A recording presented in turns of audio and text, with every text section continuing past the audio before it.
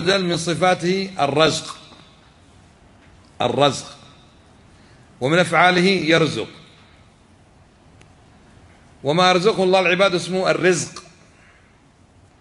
فرق بين الرزق والرزق. ما الفرق بينهما؟ الرزق صفة لله عز وجل.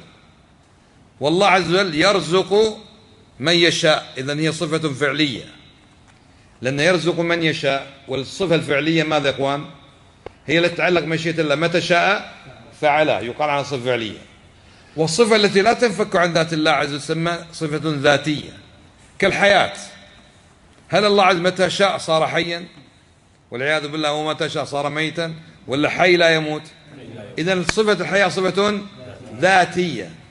وصفة الرزق صفة فعلية لأنه ها يرزق من يشاء؟ متى شاء؟ رزق.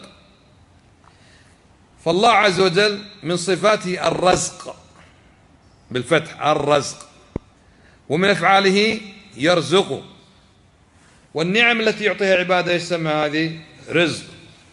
فيقال المال رزق من الله ولا رزق؟ رزق. والولد رزق. طيب والهداية؟ رزق. لأن فيه نعم وأرزاق معنوية وحسية.